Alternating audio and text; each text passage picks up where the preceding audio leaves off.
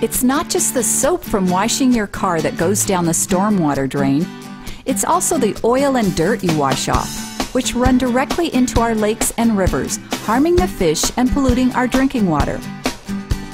Hate car washing.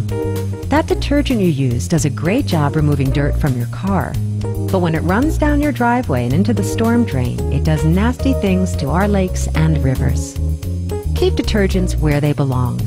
Runoff and wash waters that enter a storm drain do not flow to a wastewater treatment plant.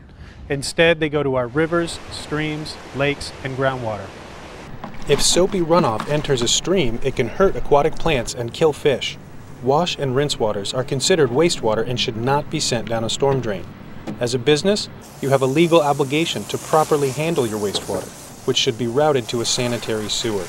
Hey Bill, what you doing? Oh, music to my ears. You mean watching car owners wash their vehicles here? Yep, because here the sudsy water goes into a tank and is treated. At home, soapy water that gets to the storm drains goes directly to our rivers and creeks. Yuck. Seriously.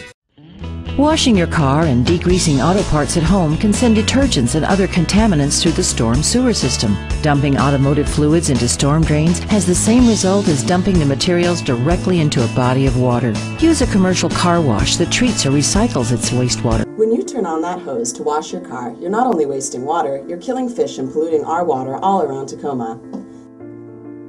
Stop! That water is going right down into the storm drain and out to our Puget Sound. Unregulated car washing pollutes our waterways. Turn off the hose, think about what you're going to do, and take your car to a professional car wash right here in Tacoma.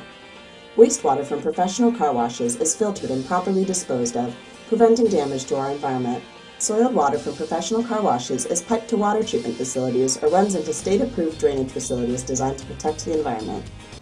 Amor, Mira toda el agua jabonosa. Esa agua llegará a los arroyos y el mar por el drenaje pluvial. ¿No es antes tratada? No. En las casas, el agua usada de los sinks y sanitarios se va por la tubería a la planta de tratamiento. Pero el agua de las calles entra al drenaje pluvial sin ser tratada. Ay, entonces la basura, jabones, aceites y químicos no deben entrar al drenaje de la calle. Sí. Porque el mar empieza aquí en la calle. Well, drivers are being urged to use commercial car washes to avoid polluting waterways. The Car Wash Association says every time one of our 15 million cars is cleaned, this black toxic waste ends up in creeks, rivers, and oceans. Uh, petrochemicals, zinc, copper, any number of things, surfactants. They say car wash businesses use treated wastewater to remove the toxins. If stormwater pollution was rubber duckies, it wouldn't matter what went down our storm drains. But it does, because stormwater pollution is not rubber duckies. It's trash, oil, cigarette butts, and pet waste flowing untreated to our rivers. Remember, drains aren't dumps, because what goes down here ends up here. Vehicle wash water contains petroleum, heavy metals, phosphates, and other pollutants.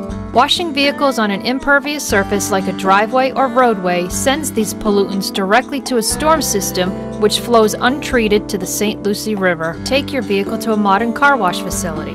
There they recycle their wash water or the water is treated before it is discharged into the sanitary sewer or storm systems.